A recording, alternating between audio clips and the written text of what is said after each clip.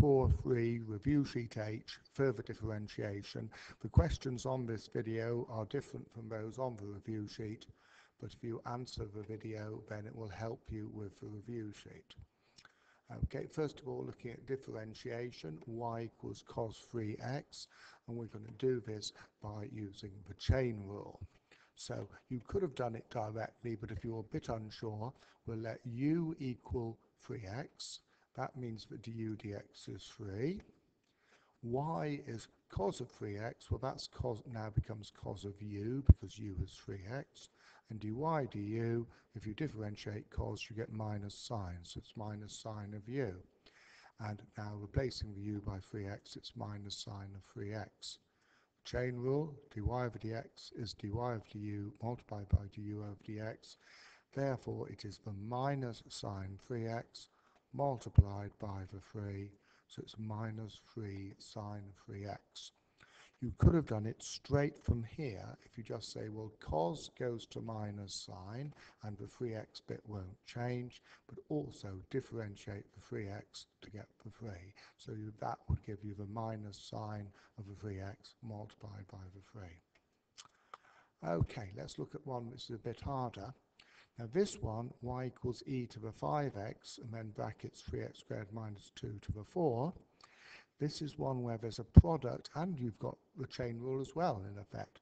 So you could, you've got the product between the e to the 5x and the uh, polynomial, the 3x squared minus 2 to the power 4. Now if we try to do each of these, v to the 5x and 3x squared minus 2 to the 4, using the chain rule in full, it becomes very complicated when you then also have to do the product. So we're going to try to do those by function of a function, and we'll just do them straight away. So, product rule. Go straight to your grid, e to the 5x, first one, 3x squared minus 2 to the 4 here. If you differentiate e to the 5x, the e part always stays the same, differentiate 5x, you get 5, so you get 5e to the 5x. Differentiating here, this is polynomial. Multiply by the power for 4. Differentiate the part in the brackets, and that gives you 6x, and then you reduce the power by 3, uh, sorry, reduce the power by 1, which brings it to 3. So you can go 4 times 6x, 24x, and then reduce the power by 1, 3x squared minus 2 cubed. Let's just check that again. Multiply by the power of 4. Differentiate the part in the brackets. That becomes your 6x, 4 lots of 6x, 24x. And then keep the 3x squared minus 2, but reduce the power by 1. Right, using the product rule, you multiply across. So you've got e to the 5x multiplied by this lot here, and you've got 5e to the 5x multiplied by that part there. So e to the 5x multiplied by your 24x, 3x squared minus 2 cubed. Add 5e to the 5x multiplied by the 3x squared minus 2 to the power of 4. Now, if you're just asked to differentiate it, you can leave your answer like that. If, however, we wanted to do further work with this, let's say finding stationary points or something like that, then you will want to simplify this a bit, and you should notice straight away that e to the 5x occurs both times. And so you can take that out as a common factor. You should also note that you've got a 3x squared minus 2 cubed here, and this, 3x squared minus 2 to the power 4, means that 3x squared minus 2 cubed is also a common factor. So you've got e to the 5x as a common factor. You've got 3x squared minus 2 cubed as a common factor. Look at what's left over here. It's 24x. Look at what's left over here. You've got 5 and you've got another one of these 3x squared minus 2's so as to make it 3x squared minus 2 to the power 4. And then it's just expand this lot and group this together a bit so you get e to the 5x, 3x squared minus 2 cubed, and then in here 15x squared plus your 24x minus your 10. Okay, and if you wanted to do things where you were actually finding things like stationary points, you'd obviously put that equal to zero, and you could do use it then because you got everything worked out as um, factors of each other. Okay, or sorry, as a product of factors. Okay, next one, question two. Find the equation of a normal to y equals sine 4x at x equals pi over 3. Notice whenever we're doing one of these, it's always going to be in radians whenever you're using sine and cos and any calculus. So dy over dx, okay, straight away. Sine goes to cos, it stays as cos 4x. Differentiate the 4x, you get 4, so you get 4 cos 4x. I could have used chain rule, but it's much quicker to do it this way. When x is pi over 3, dy over dx will be 4 cos of 4 pi over 3. And that you'll find is equal to 4 times minus a half, so it's just minus 2. So the gradient of the tangent is minus 2. The gradient of a normal is the negative reciprocal, therefore it's minus 1 over your minus 2, minus 1 over minus 2. The minus minuses cancel out, you're left with a half. Now, we also need to find, if you find the equation of a normal at a point, you've got the x-coordinate, you've got the gradient, you need to find the y-coordinate. The y-coordinate at that point, y is sine 4x. So it's sine 4 lots of your pi over 3. That is minus root 3 over 2. So that tells you the point has x-coordinate pi over 3, y-coordinate minus root 3 over 2 slot it into y minus y1 equals mx minus x1.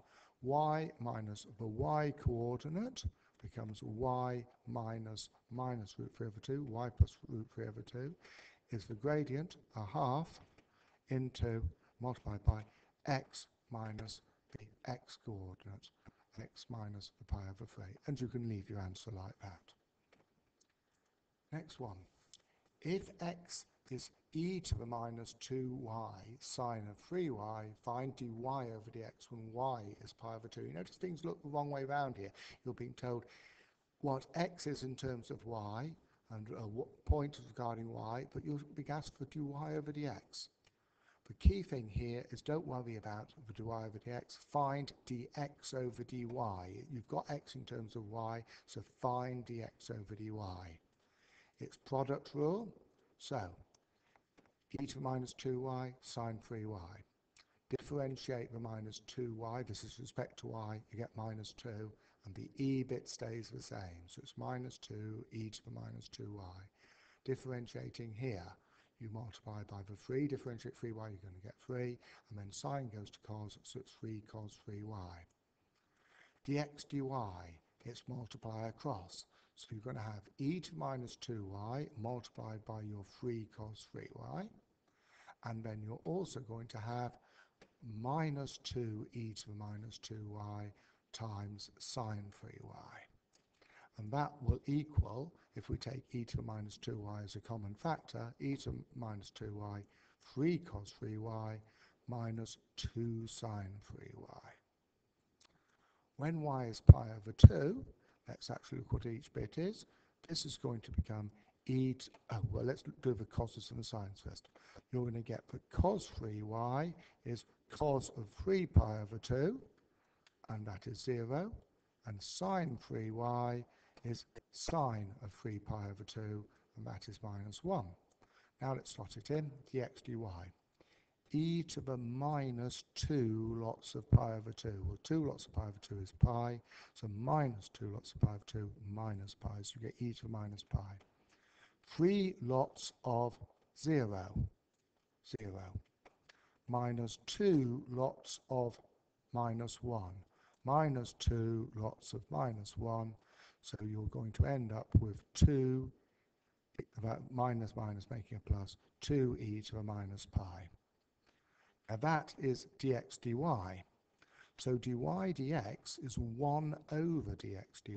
It's reciprocal of it, so it's going to be 1 over t2 e to the minus pi. If you want to, you can make it a bit simpler. That stays as a half, 1 over 2. e to the minus pi is 1 over e to the pi.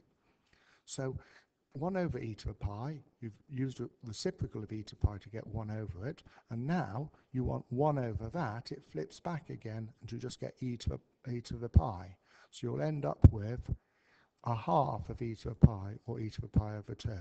So what you're doing is you're saying e to the minus pi is 1 over e to the pi, 1 over that becomes e to the pi, but you've still got to multiply by your half.